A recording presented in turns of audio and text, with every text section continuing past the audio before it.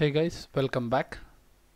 So guys in this video we are going to learn about how to do multi authentication multi authentication I mean to say about multi login system okay? So like there is till now we have completed with um, admin and user login but I want multiple logins now okay?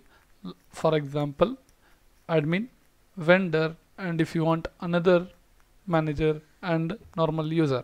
So there are three to four routes for logging right? So for that we are going to solve now with multi routing things how to use that. I'll just tell you about it.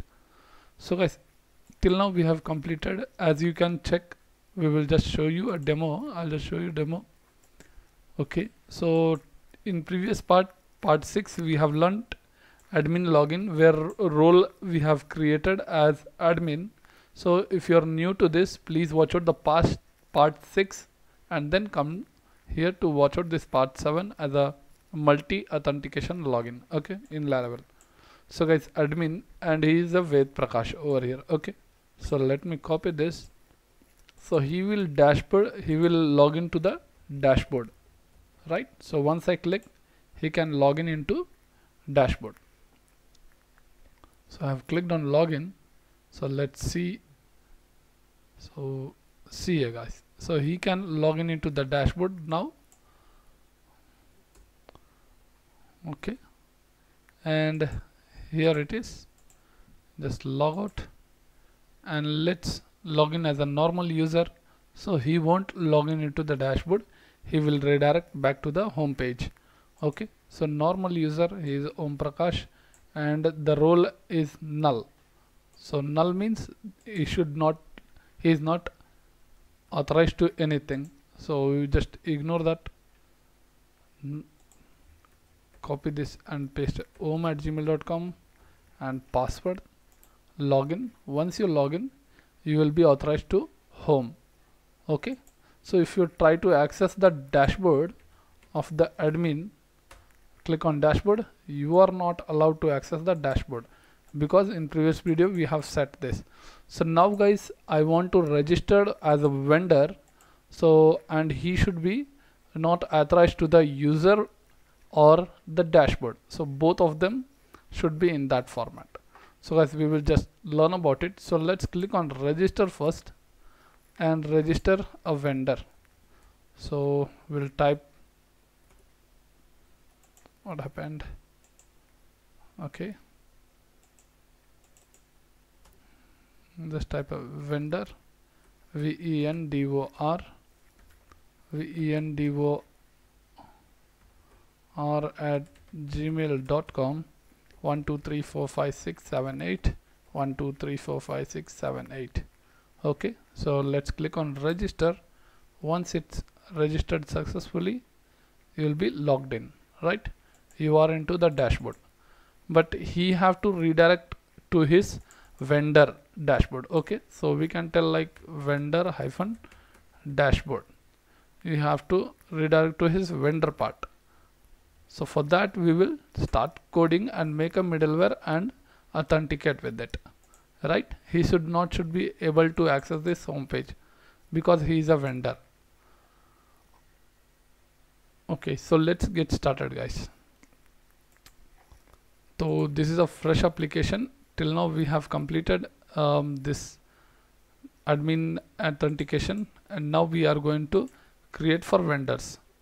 So let's create a first step. We will create a middleware. So press control tilde option. So that terminals gets open over here. And now we have to create a middleware called php artisan. Make colon middleware where I'm going to create a vendor middle w-a-r-e middleware. Hit enter. A vendor middleware will be created successfully. Done. So after this now let me close this and let's go to our app http controller not controller inside http middleware. So over there you can see the vendor middleware just now created. Right so guys same thing what we have done in admin middleware we will copy and paste. Okay?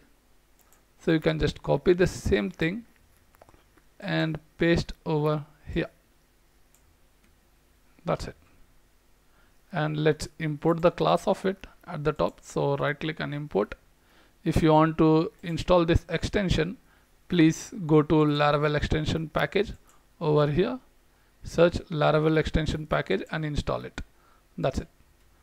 So guys now role user over here in vendor middle will keep vendor. That's it. Simple and clear. So you are not allowed to access the vendor dashboard right? And you can redirect to home page or 401 error okay? 401 page any place you can access it right? So you have to create a route for this. So we will just redirect now to the home page or else you can create a page called 401 so inside resource views you are going to create a new folder called errors. E r r r r o r s errors. Over here inside this I'm going to create a file called 401 dot blade dot php over this now you can redirect set a route and redirect over there. So guys um let me try with the one about function we have we can use that okay? So we will learn about that how to set everything error page and all in next further videos we'll be learning about so right now we will ignore this and we will continue with this message only because we don't want to extend the time of the video. Okay. So guys let's continue with this only and let's go to after this. So step 2 is go to our login thing right? So let's go to our controller auth login controller. So if you click over here you can uh, see like you will be having a default this thing but please comment that and you can follow with this my tutorial where we have given a redirect to function. Inside that I have created if the role as admin then you have to log into dashboard. Else if any of the user is so return to home URL okay? So right now we will remove this option okay? And we will make a vendor one. So we'll give one comment called this is admin admin login one. And then same thing will copy replace and tell this as vendor login. Okay and you have to type here vendor. Okay done. So now vendor is set. So guys now when you have registered when you're setting this make sure you're giving this option into your database when you have registered with the vendor. Right now we have registered with this. So guys let me browse it once again. Refresh the page. And you can see the third person registered as vendor. Okay it's still loading. Yeah it's loaded. So guys vendor at gmail.com it's over here. And role as it is null. So I'm directly going to paste here now vendor. Later in further videos we will be doing roles and permission things about how to make that CRUD application for assigning role for this. You can just continue in this next videos. So guys now I have set this as vendor and once it's if it is a vendor you can log in. Okay? So now let's go back to a coding part and if he's a normal user what he will do? He should be logging it directly right? So guys we can set that also like a normal just copy and paste.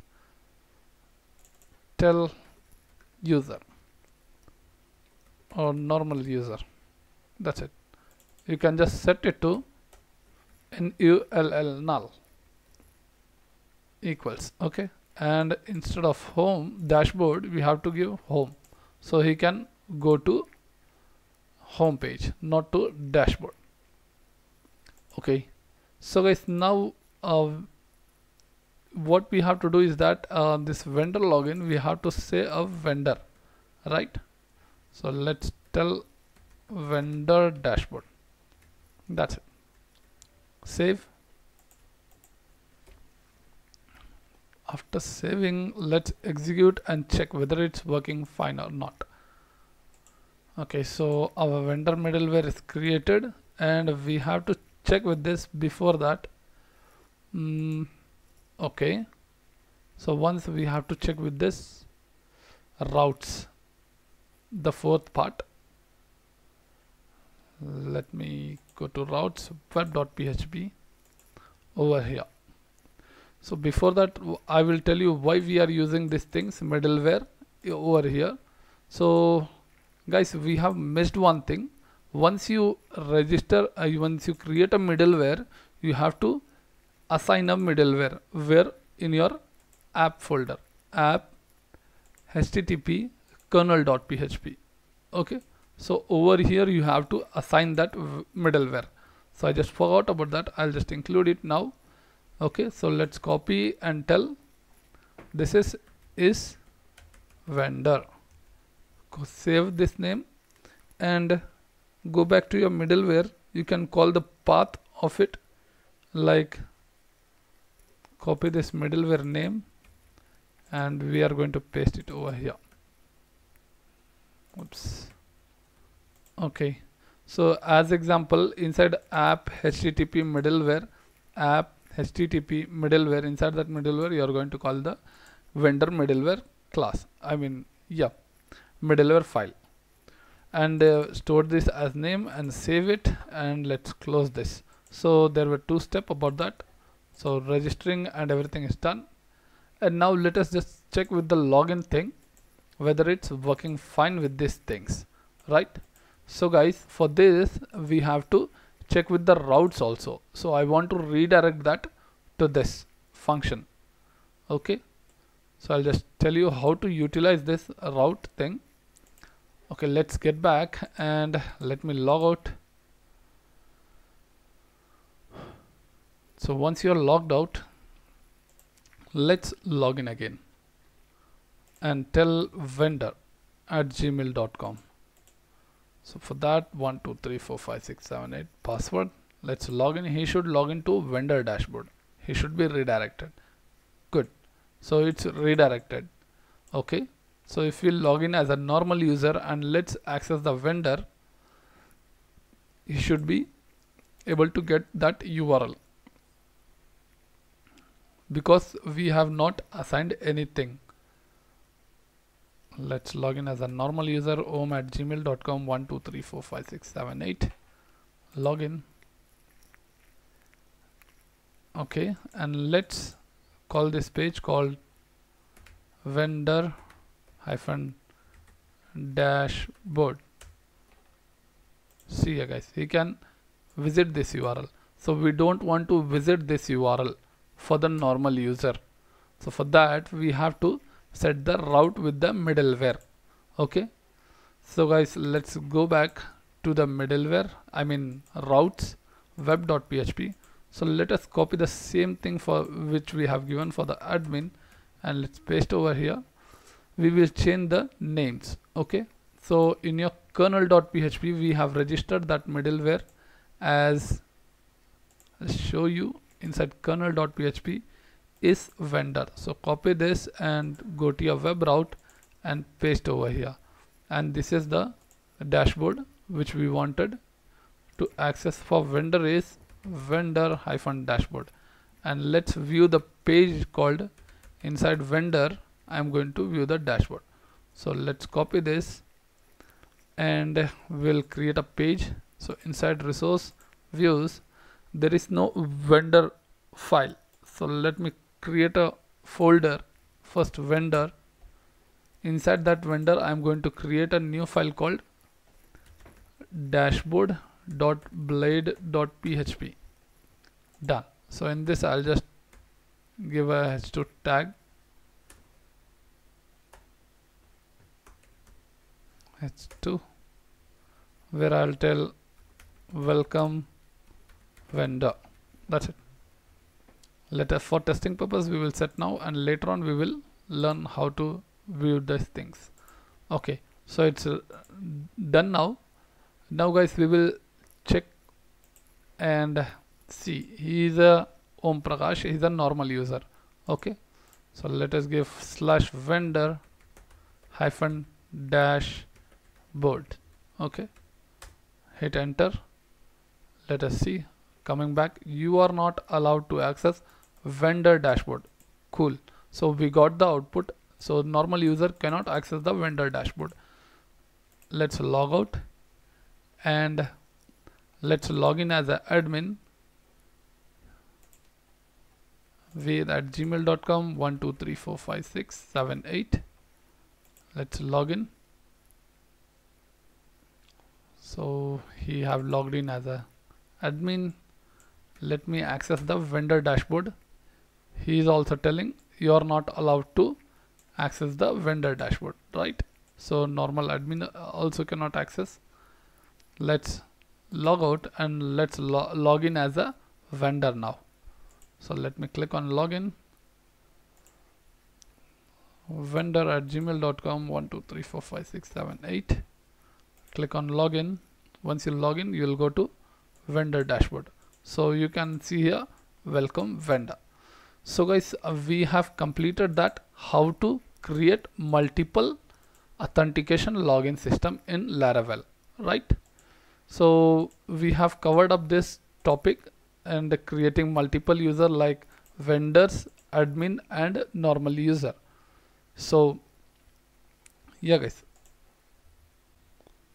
So let's continue in the next video about the roles and permissions of how to set this roles and permission. As a normal admin if I'm a admin he is logging in so he should be able to set those roles and permission. For example these data should be fetched in a table and give the roles and permission from his dashboard. So from his dashboard means from here.